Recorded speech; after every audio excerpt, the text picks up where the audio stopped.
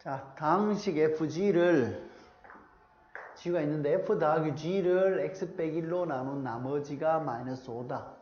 fx 더하기 gx가 뭐냐? 당식이잖아요. 당식 둘이 더해도 당식. 당식을 1차로 나눈 나머지 어떻게 돼요? 1차 항이 0 되는 걸 집어넣은 게 나머지다. 이게 나머지 정리잖아. 그래서 뭐라? f의 1 더하기 g1은 마이너스 5예요.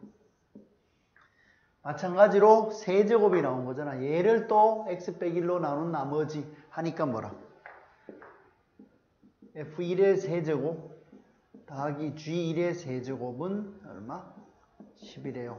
그 다음에 항상 뭐야? 특징이 고등학교 문제의 특징은 계산하려고 하지 말고 마지막에 묻는 물음을 한 번 더 봐라.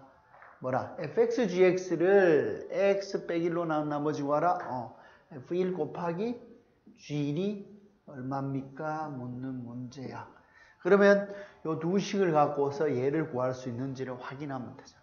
근데 F1, G1을 너무 신경 쓰지 마시고 그냥 A 더하기 B가 마이너스 5고 지원해서 A 세제곱, B 세제곱이 10일 때 A, B는 얼마냐? 이 문제하고 똑같은 스타일의 문제잖아.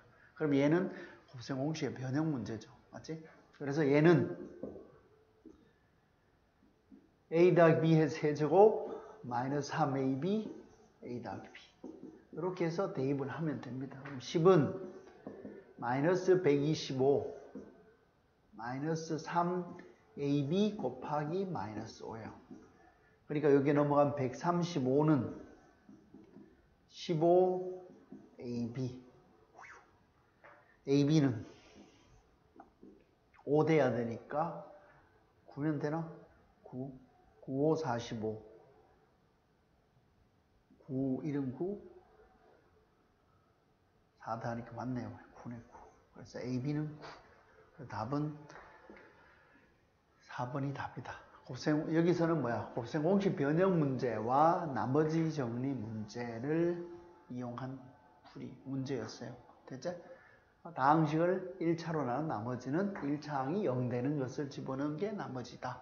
나머지 정리를 이용하고 그 다음 표현하고요.